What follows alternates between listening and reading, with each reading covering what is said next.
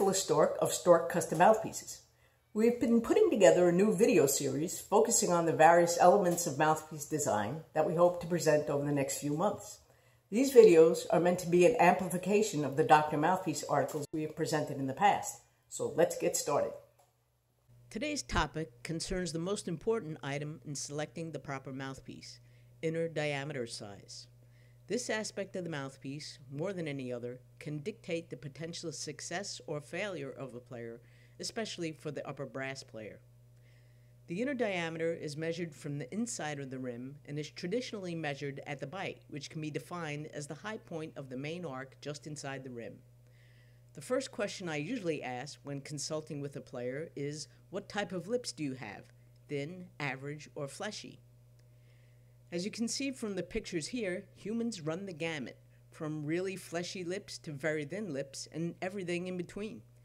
The inner diameter you choose should reflect the type of lips you have. This is essential because there is a direct relationship that exists between the degree of fleshiness of the lips and how much lip surface is optimum for exposure inside the rim of a mouthpiece. This concept is based on the theory of tensile strength, which can be defined as the maximum amount of stress a given material can take before failure. For brass players, this simply means that a player with thin lips will have less ability to keep their lips from being blown apart inside a large exposed area than a person with fleshy lips would. If you place a rock on a tissue paper, think thin lips, it breaks apart easily.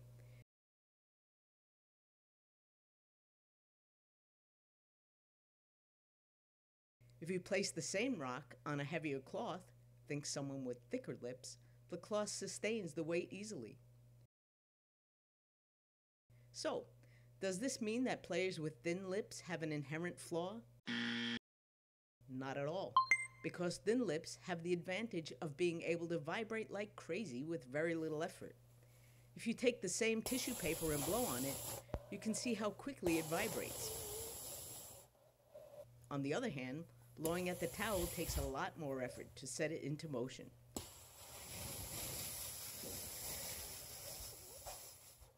So the basic rule becomes thin lips, smaller inner diameter, fleshy lips, larger inner diameter. A smaller inner diameter for a thin lip player exposes less surface area, which offers support to the thin lip player while still allowing for plenty of vibration. On the other hand, Thicker lips benefit from having more exposed surface area to free the lips to vibrate, and they have enough inherent tensile strength to hold together inside a larger area. If you haven't selected the inner diameter size of your mouthpiece based on this rule, you may not be playing on an optimal setup for your physiology. Many players struggle with the effects of having chosen the wrong inner diameter without ever realizing it. For instance, a thin lip player playing on an inner diameter that is too large will likely have the following issues poor endurance, poor range, faulty intonation, and a thin sound, especially when ascending in range. All of these issues are a result of thin lips not being able to maintain control of the aperture in too large of an exposed surface area, most especially in instances where they will need to be pushing lots of air through the instrument. For the fleshy lip player, using a large enough diameter to fit their lips inside of the rim is critical to playing with a compression type embouchure, as opposed to a pressure based system. Compression, in this context, means that the player is using their musculature to control the aperture, not the pressure of the mouthpiece.